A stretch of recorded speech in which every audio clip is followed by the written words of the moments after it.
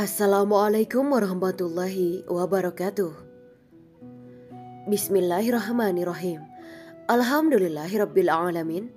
Wa nasta'inu ala umuri dunya waddin. Allahumma salli wa sallim wa barik ala sayyidina wa maulana Muhammad. Asyhadu an la ilaha illallah wa asyhadu anna Muhammadur Rasulullah. Amma ba'du. Kisah Nabi Zakaria Nabi Zakaria mendambakan anak soleh. Allah karuniakan Nabi Yahya. Nabi Zakaria alaihi salam merupakan keturunan Nabi Sulaiman alaihi salam. Periode kenabian Zakaria sangat dekat dengan Nabi Isa alaihi salam. Beliau diutus sebagai nabi untuk berdakwah kepada Bani Israel di Palestina.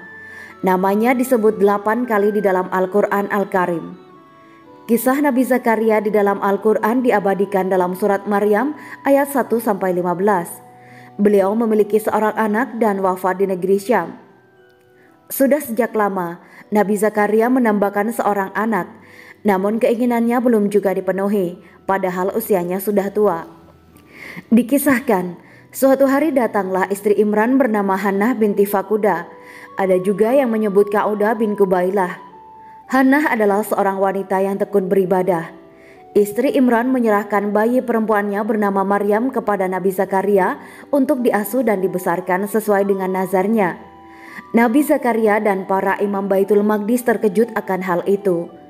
Namun setelah mendapatkan penjelasan dari istri Imran bahwa kehamilannya ialah kehendak Allah Subhanahu wa taala, mereka pun mengerti. Setelah itu muncul persoalan, siapa yang berhak mengurus Maryam? Untuk itu mereka mengemudi dengan melemparkan pena ke dalam air. Barang siapa yang penanya terapung, dialah yang berhak mengurus Maryam. Ternyata pena Nabi Zakaria lah yang terapung, sehingga beliau berhak menjadi pengasuh Maryam. Semua keperluan Maryam ditanggung oleh Nabi Zakaria. Namun kemudian rasa sayang Nabi Zakaria kepada Maryam berubah menjadi rasa takjub. Suatu hari ketika melihat Maryam, beliau melihat ada buah-buahan berada di dekat Maryam. Ada juga buah-buahan yang bukan musimnya. Maryam menjelaskan bahwa semua itu datang dari Allah Subhanahu wa taala. Nabi Zakaria kaget dan merasa takjub. Beliau ingin mendapat kemuliaan dari Allah. Maka beliau pun bermunajat kepadanya memohon agar dikaruniakan anak. Allah berfirman melalui malaikat Jibril bahwa Nabi Zakaria akan dikaruniai anak bernama Yahya dengan tanda tidak boleh bercakap-cakap selama tiga hari tiga malam. Setelah itu istrinya mengandung dan melahirkan anak lelaki yang diberi nama Yahya. Seperti ayahnya, Yahya juga diutus sebagai nabi. Sebelum kelahiran Yahya, Nabi Zakaria sempat sedih dan karena belum juga mempunyai keturunan walau berusia 90 tahun.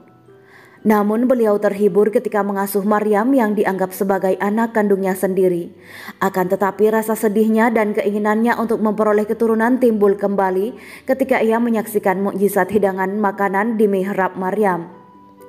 Doa Nabi Zakaria memohon anak pada suatu malam. Nabi Zakaria duduk di mihrabnya dan bermunajat kepada Allah. Berdoa dengan khusyuk dan yakin. Dengan suara yang lemah lembut beliau berdoa, "Ya Tuhanku, Berikanlah aku seorang putra yang akan mewarisiku dan mewarisi sebagian dari keluarga Yakub yang akan meneruskan pimpinan dan membimbing kepada Bani Israel. Aku risau sepeninggalku nanti anggota-anggota keluargaku akan rusak kembali akidah dan imannya bila aku tinggalkan tanpa seorang pemimpin yang akan menggantikanku. Ya Tuhanku, tulangku telah menjadi lemah dan kepalaku telah dipenuhi uban sedang istriku adalah seorang perempuan mandul. Namun kekuasaanmu tidak terbatas. Dan aku berdoa engkau berkenan mengaruniakan seorang anak yang soleh dan engkau ridho padaku. Allah pun mengabulkan doa Nabi Zakaria dan berfirman, Wahai Zakaria, kami sampaikan kabar gembira padamu.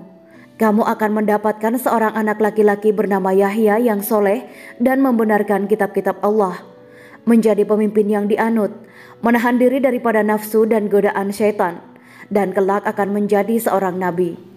Kemudian Nabi Zakaria berkata, Ya Allah, bagaimana aku dapat memperoleh keturunan, sedang istriku seorang yang mandul, dan aku pun sudah lanjut usia.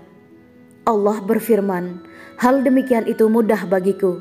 Tidaklah telah kuciptakan kamu, sedangkan waktu itu kamu tidak ada sama sekali. Kisah wafatnya Nabi Zakaria Setelah dikaruniakan anak bernama Yahya, Raja Herodus memerintahkan untuk membunuhnya. Nauzubillah, itulah kerusakan dan perbuatan keji Bani Israel yang dilaknat Allah. Setelah Nabi Zakaria mengetahui kematian putra kesayangannya Nabi Yahya, Nabi Zakaria melarikan diri untuk menghindari penangkapan karena sudah tersiar pula kabar bahwa beliau juga akan dibunuh. Qadarullah, Beliau bersembunyi di dalam sebuah kebun dekat kota Yerusalem.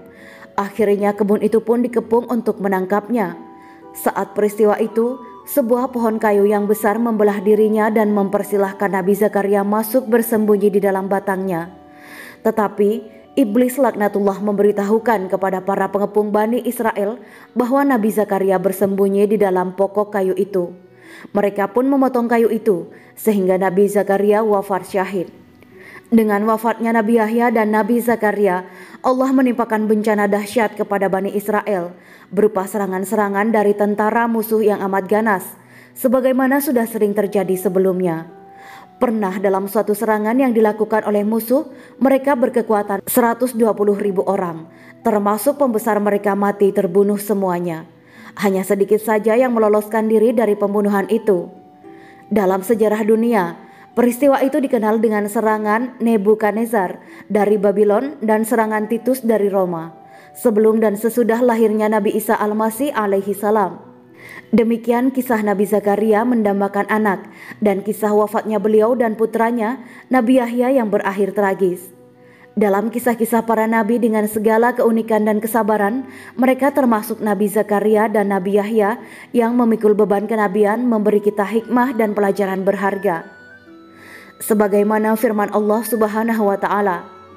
Sesungguhnya pada kisah-kisah mereka itu terdapat pengajaran bagi orang-orang yang mempunyai akal. Al-Qur'an itu bukanlah cerita yang dibuat-buat, akan tetapi membenarkan kitab-kitab yang sebelumnya dan menjelaskan segala sesuatu dan sebagai petunjuk dan rahmat bagi kaum yang beriman. Quran surat Yusuf ayat 111. Wallahu taala a'lam. Dari Anas radhiyallahu anhu, dia berkata bahwa Rasulullah shallallahu alaihi wasallam terbiasa membaca doa. Ya muqallibal qulub, sabit ya kabil a'la dinika. Wahai zat yang membolak-balikan hati, teguhkanlah hatiku berada di atas agamamu. Kemudian aku pun bertanya, Wahai Rasulullah, kami beriman kepadamu dan kepada apa yang Anda bawa. Lalu apakah Anda masih khawatir kepada kami?' Beliau menjawab, "Ya, karena sesungguhnya hati manusia berada di antara dua genggaman tangan Allah Subhanahu wa taala yang dia bolak-balikan menurut yang dikehendakinya." Hadis riwayat Tirmizi nomor 2066.